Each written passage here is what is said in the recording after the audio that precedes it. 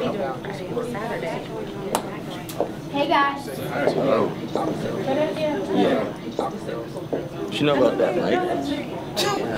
You guys are crazy. I'm gonna get back to work. That's what I know about that. Whatever. What's his deal, man? Must not like girls. Dude's crazy. yeah, so I'm thinking this weekend is gonna be a perfect time for vacation. Last week, you ain't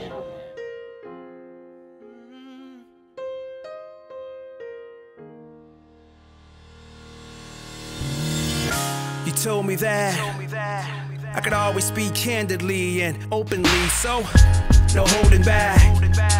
Lord, I need a little help with this unbelief because I can't shake the fact that I haven't done it perfect. And I can't shake the fact that I feel a lack of purpose. And I can't shake the fact that I fear for tomorrow when the thoughts of living a mediocre life is hard to swallow. So here we are, face to face, soul to spirit, created and made, flesh to glory. Time meets forever. I am mortal man in the presence of forever. Try to wrap my head around that.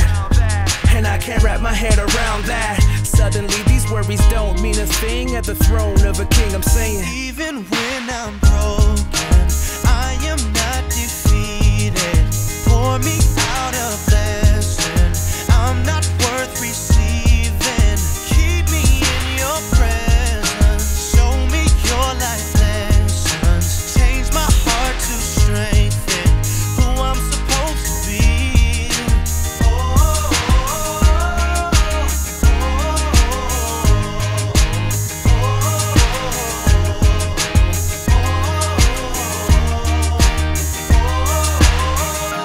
You told me this. If I should ever find myself thrown under the bus, that you would be my defense.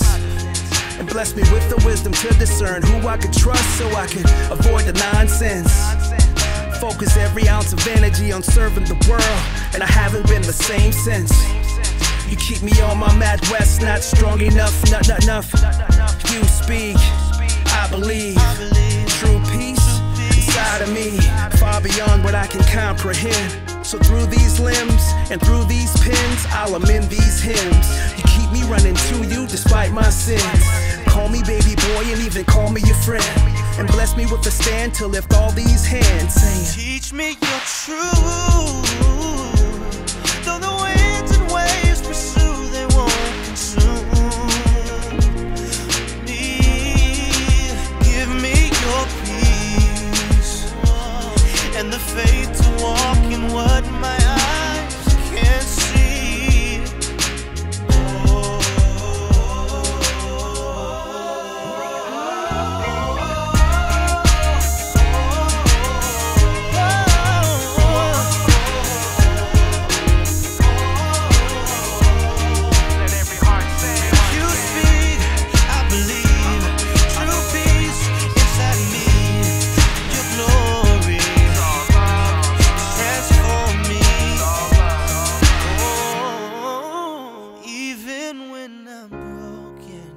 I am not defeated.